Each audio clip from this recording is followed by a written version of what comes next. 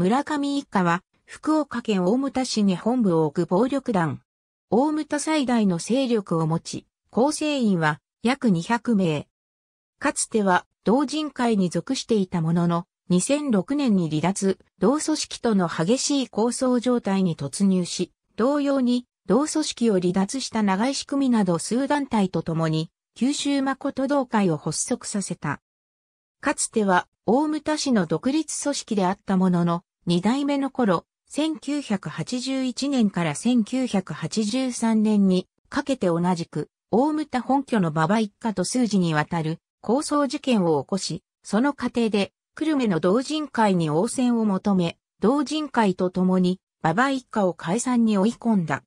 1994年1月には、二代目総長の小宮清慶が、大牟田市岩本の自宅で射殺された。この構想終結後、村上一家は、同人会の参加となった。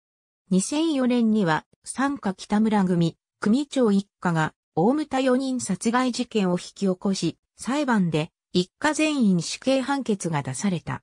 同人会を離脱することになる2006年5月の時点で同会内の最大勢力であった。2006年5月、同人会2代目、会長、松尾誠二郎が引退を発表し、松尾組組長、大中義久を3代目会長に指名したことに対して、時の村上一家総長、村、上長二郎、長石組組長、長石秀蔵、鶴丸組組長、鶴丸、吉春、高柳組組長、高柳博之が反発し、構想に突入。6月になると揃って同人会を脱退し、7月に九州誠同会を結成、村、上長二郎が会長に就いた。四代目村上一家総長は、参加並川会会長、並川正宏が継承し、九州誠同会の理事長に就任した。